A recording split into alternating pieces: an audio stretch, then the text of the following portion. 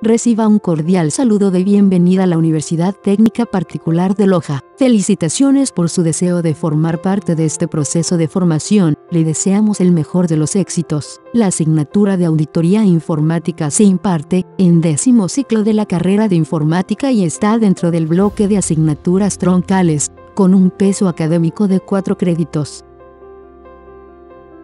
El propósito principal es que usted amplíe su accionar y se convierta en un auditor informático, dando ideas para la correcta utilización de los recursos que una organización pone en juego, para disponer de un eficiente y eficaz sistema de información y poder cumplir con los objetivos para la que fue creada. Incluso puede actuar como consejero en la organización donde desempeña su labor. La importancia de la asignatura contribuirá en su desempeño como profesional, puesto que adquirirá las bases necesarias de conocimientos teóricos y prácticos para que pueda realizar un examen con carácter objetivo, crítico, sistemático y selectivo,